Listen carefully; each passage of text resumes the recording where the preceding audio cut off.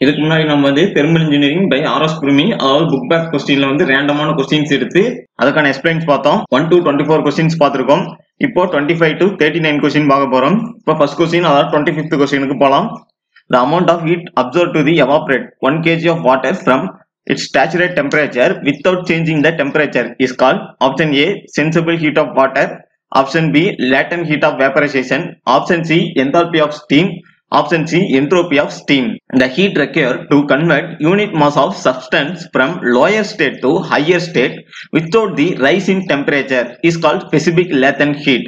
அதாவது ஒரு mass of சப்ஸ்டன்ஸை வந்து லோயர் ஸ்டேட்ல இருந்து ஹையர் ஸ்டேட்ல மாத்துறதுக்கு எவ்வளவு ஹீட் தேவைப்படுதோ அதுவும் வித்தவுட் ரைசிங் டெம்பரேச்சர்ல எவ்வளவு ஹீட் தேவைப்படுதோ அதை தான் வந்து ஸ்பெசிபிக் லேட்டன் ஹீட்னு சொல்லுவோம். அடுத்தது the quantity of heat utilised by substance to change from solid state to liquid state without rising the temperature is called latent heat of fusion இது இப்போ இதில் என்ன சொல்றாங்கன்னா ஒரு சப்ஸ்டன்ஸ் வந்து சாலிட் ஸ்டேட்ல இருந்து லிக்விட் ஸ்டேட்டா மாறுது. அதுவும் வித்தவுட் ரைஸ் ஆஃப் டெம்பரேச்சர்ல அதுக்கு எவ்வளவு ஹீட் யூட்டிலைஸ் அதாவது அவங்க எவ்வளவு ஹீட் எடுத்துக்குதோ அதை வந்து நம்ம லேட்டன் ஹீட் ஆஃப் ஃபியூசன் சொல்றோம். The quality of heat utilised by substance to change from liquid state to gaseous state without rising in its temperature is called latent heat of vaporisation அதாவது இதில் என்ன சொல்லியிருக்காங்கன்னா லிக்விட் ஸ்டேட்ல இருந்து gaseous ஸ்டேட்டா மாறதுக்கு அதாவது without rising டெம்பரேச்சர்ல எவ்வளவு heat வந்து தேவைப்படுதோ அதை தான் வந்து லேட்டன் ஹீட் ஆஃப் வேப்பரைசேஷன் அப்படின்னு சொல்லியிருக்காங்க. அதாவது இந்த டயராம் பாருங்க. இந்த இந்த ஒய் ஆக்சிஸ்ன்றது வந்து டெம்பரேச்சர் குறிக்கும் இந்த எக்ஸ் அப்படின்றது வந்து டைமை குறிக்கும். இப்போ பாத்தீங்கன்னா ஐஸ்ன்றது வந்து ஜீரோ டிகிரிக்கு கம்மியா இருக்கு. ஐஸோடைய டெம்பரேச்சரை நம்ம வந்து இன்க்ரீஸ் பண்ணி என்ன பண்ணா ஜீரோ டிகிரி செல்சியஸுக்கு வந்து கொண்டு வரோம். கொண்டு வந்து அங்க அந்த பி டு சி பாயிண்ட் பாத்தீங்கன்னா டெம்பரேச்சர் ரைஸ் ஆகல. இந்த ரைஸ் ஆகல பாத்தீங்களா இந்த ரைஸ் ஆகாத டைம்ல வந்து எவ்வளவு ஹீட் எடுத்துக்குதோ அதை தான் வந்து லேட்டன் ஹீட் அப்படின்னு சொல்லுவோம். அதை வந்து மூணா சொல்லலாம். Specific latent heat specific latent heat fusion latent heat vaporisation அப்படின்ட்டு வந்து சொல்றோம். ஓகே இந்த கொஸ்டினுக்கான ஆன்சர் வந்து உங்களுக்கு என்ன புரியுதோ அதை வந்து கமெண்ட் பாக்ஸ்ல கமெண்ட் பண்ணுங்க the temperature at which a fuel start boiling point is call the saturate temperature the heat of vaporisation of the water or latent heat of steam is called two two five seven kilo joule per KG at atmospheric pressure okay actually நம்ம last வீடியோவில் வந்து இந்த question வந்து பார்த்துருப்போம் இந்த கொஸ்டினுக்கான answer பாருங்க இதுதான் லேட்டன் கிட்ட பேஸ் பண்ணி வருது. ஓகே அடுத்த கொஸ்டின் போவோம். In internal energy U of dry steam is given by option A B C D கொடுத்துருக்காங்க. இப்போ இதுக்கான எக்ஸ்பிளைன் பார்த்துருவோம். இப்போ நம்ம இந்த டயக்ராம் வச்சு தான் வந்து நாம பார்க்க போறோம். அதாவது இது பார்த்தீங்கன்னா டெம்பரேச்சர் அண்ட் டைம் அப்படின்னு சொல்லிட்டு வச்சுக்கலாம். இப்போ பார்த்தீங்கன்னா இங்க என்ன பண்றோம்னா நார்மலா முன்ன லேட்டன் கீட்ல வந்து இந்த டயக்ராம் பார்த்துருப்போம். இப்போ நம்ம இன்டர்னல் எனர்ஜி எதுக்கு கேக்குறாங்க அப்படின்னு பாருங்க. ட்ரை ஸ்டீம் அப்படின்னு கேக்குறாங்க. இந்த இடத்துல தான் வந்து ட்ரை ஸ்டீம் ஆகும். இப்போ பாத்தீங்கன்னா என்ன பண்ணுவோம்னா இன்டர்னல் எனர்ஜியோடைய formula பார்த்துரும் enthalpy minus external work done அப்படின்றது. இப்போ என்தால்பி அப்படின்றப்ப என்னன்னு பாத்தீங்கன்னா இங்கே இந்த இந்த இதை தான் வந்து என்தால்பி அப்படின்னு சொல்லுவோம். இப்போ ஹெஜ் ஹெஜ்ன்றது என் எனர்ஜி ஸ்பெண்ட் இன் எவாபரேஷன் எவ்வளவு எனர்ஜி வந்து எவாபரேஷன்ல ஸ்பெண்ட் ஆயிருக்கோ அதை வந்து கொண்டு போயிட்டு இதோட எக்ஸ்டர்னல் ஒர்க் டனோட வந்து மைனஸ் பண்ணோம்னா நமக்கு வந்து இன்டர்னல் ஒர்க் டன் கிடைச்சிரும்.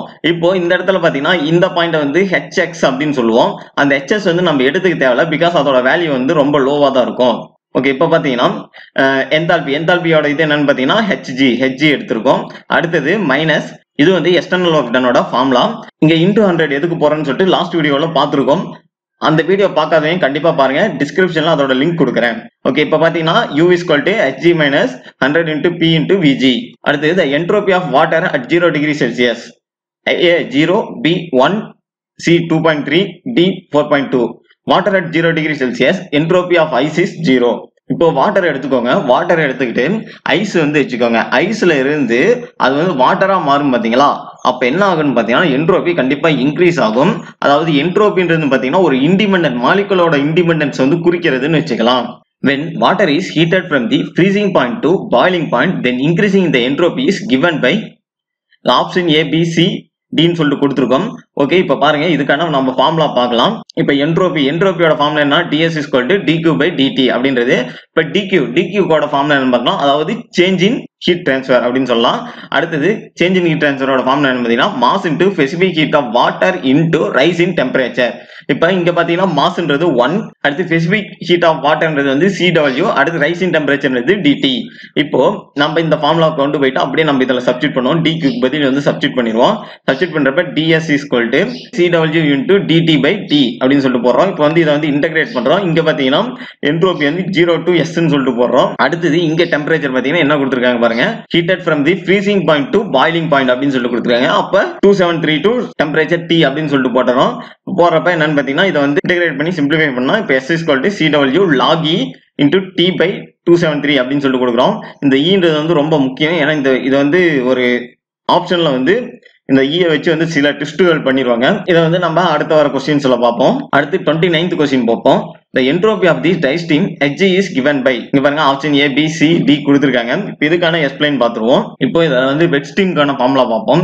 S F plus X into HFG by T அப்படின்னு சொல்லிட்டு ஃபார் வெட் ஸ்டீம் இதே வந்து ட்ரை ஸ்டீம்க்கு கேட்டாங்க அப்படின்னா இந்த எக்ஸ் அப்படின்ற இடத்துல வந்து ஜீரோ போட்டுருவோம். எதுக்காக வந்து எக்ஸ் எக்ஸ் இருக்க இடத்துல ஜீரோ போட்டுக்கணும் அதுக்கான எக்ஸ்பிளைனும் வந்து ப்ரீவியஸ் வீடியோல வந்து இருக்கும்.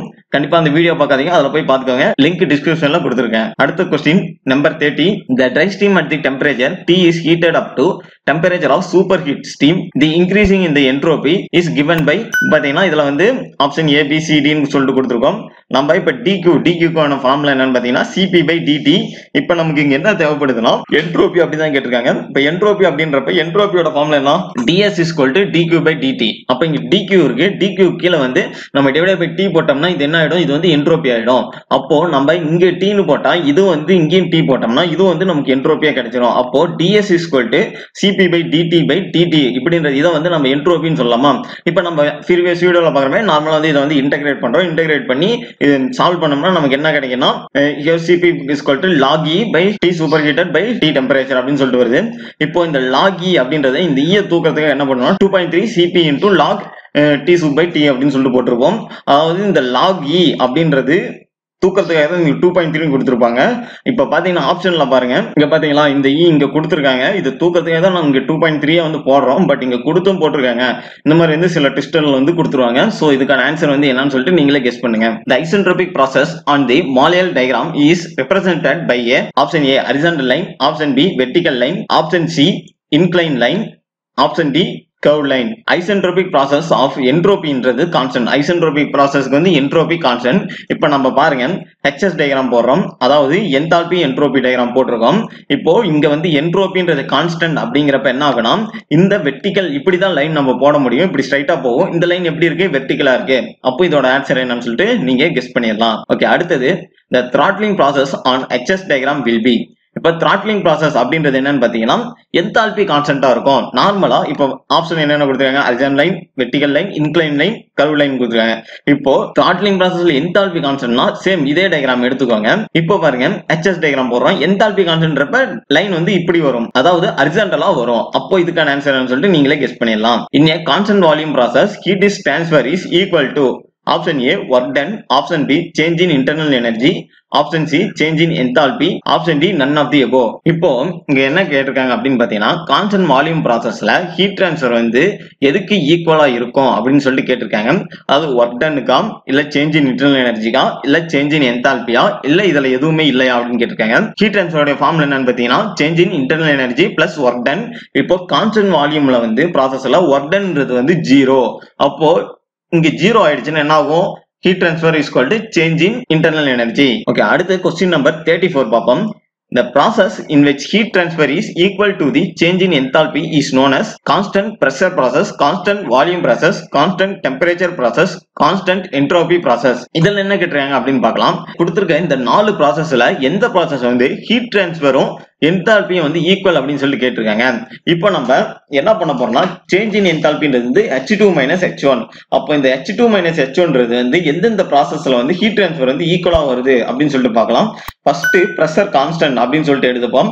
அதில் தான் பார்த்தீங்கன்னா சேஞ்ச் இன் என்தால்பி அதாவது ஹீட் டிரான்ஸ்ஃபரும் சேஞ்ச் இன் என்தால்பியும் ஒன்னா இருக்கும். சரி அப்போ வால்யூம் கான்ஸ்டன்ட் ப்ராசஸ்க்கு என்ன இருக்கும்?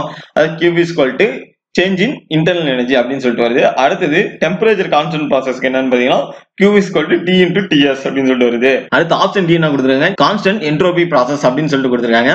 அதுக்கு என்னன்னு பார்க்கலாம். இந்த கான்ஸ்டன்ட் என்ட்ரோபி ப்ராசஸை வந்து ஐசென்ட்ரோபிக் ப்ராசஸ்னு சொல்லலாம் ரிவர்சபிள் ப்ராசஸ்னு சொல்லலாம். ஏன் இந்த ஐசென்ட்ரோபிக் ப்ராசஸ் சொல்லணும்னு பாத்தீங்கன்னா இதுக்கு முன்னாடியே நம்ம வந்து ஒரு கொஸ்டின்ல பார்த்துருக்கோம். அதாவது அந்த வெர்டிகல் லைன் அந்த கொஸ்டின்ல வந்து பார்த்துருக்கோம் இதுல ஹீட் ட்ரான்ஸ்பர் என்னன்னு பாத்தீங்கன்னா ஜீரோவா இருக்கு ஓகே அடுத்த கொஸ்டின் போயிடலாம் the heat of wet steam at constant temperature till its become dry saturate is similar to that of heating at a option A constant volume option B constant pressure option C constant entropy option D none of these okay நம்ம இதுக்கு முன்னாடி இந்த ஒவ்வொரு எக்ஸ்பிளைனா பார்த்தோம்ல இந்த இதுக்கு முன்னாடி கொஸ்டின்ல அதே தான் இங்க வந்து கொடுத்துருக்காங்க. என்ன சொல்றாங்க அப்படின்னா அதாவது ஒரு வெட் ஸ்டீம் வந்து கான்ஸ்டன்ட் டெம்பரேச்சர்ல வந்து ஹீட் பண்றோம். அது வந்து ஒரு ட்ரை ஸ்டாச்சுரேட்டா வந்து மாறுது. அதோட ஹீட்டிங் வந்து என்ன ஆகும்னு பாத்தீங்கன்னா சேஞ்சிங் என்தால்பி ஆகும். ஓகே இப்போ நம்ம heat transfer is called changing enthalpy வந்து எந்த ப்ராசஸ்ல பார்த்திருப்போம்? அப்படின்னு பாத்தீங்கன்னா கான்ஸ்டன்ட் ப்ரெஷர் ப்ராசஸ் எல்லாம் வந்து பார்த்திருப்போம். அப்ப இதுக்கான ஆன்சர் என்னவா இருக்கும் நீங்களே கெஸ் பண்ணிருங்க. அடுத்த question the super heating of steam at maybe a regarded as hyperbolic அப்படின்றது இந்த கொஸ்டினுக்கான எக்ஸ்பிளைன் என்னன்னு பாத்தீங்கன்னா the super heater steam behaves like a perfect gas and the process of super heating steam at constant temperature it is isothermal at super heat region is regard as hyperbolic process PV is equal to constant. அடுத்த question the non-flow process in which the work done is equal to the change in the internal energy. இந்த கொஸ்டினுக்கான explain பாத்தீங்கன்னா இந்த நான் flow process அதாவது கீழே கொடுத்துருக்க நாலு ப்ராசஸ்ல வந்து எந்த ஒர்க் டன் வந்து சேஞ்ச் இன் இன்டர்னல் எனர்ஜிக்கு வந்து ஈக்குவலா இருக்கும் அப்படின்னு பா- சொல்லிருக்காங்க. Non flow reversible adiabatic or isentropic process தான் பாத்தீங்கன்னா work done is called change in internal energy அப்படின்னு வரும். அதே வந்து ஒருவேளை ஸ்டடி ஃப்ளோ அப்படிங்கிறப்ப சேஞ்ச் இன் என்தால்பி வரும். அடுத்த question number thirty eight in ideal cycle on which steam engine works on Rankine cycle option C Otto cycle option C Joule's cycle இப்போ Rankine cycle அப்படின்றது என்னன்னு பாத்தீங்கன்னா Rankine cycle is an ideal cycle for comparing the performance of steam plant it is modified from Carnot cycle அதாவது Carnot சைக்கிளோட update தான் வந்து Rankine சைக்கிள்னு சொல்லலாம். இந்த Rankine cycle is compared to Carnot cycle has dash work ratio அதாவது நம்ம என்ன சொல்லியிருந்தோம்னா கார்னர் சைக்கிளோடைய அப்டேட் தான் வந்து ரேங்கிங் சைக்கிள்னு சொல்லியிருக்கோம். அப்போ இதோட அப்டேட்ன்றப்ப அதோட ஒர்க் எப்படி இருக்கும்னு பார்த்தீங்கன்னா ஹையாக தான் இருக்கும். ஓகே இதோட வந்து twenty five to thirty nine question முடிஞ்சுது.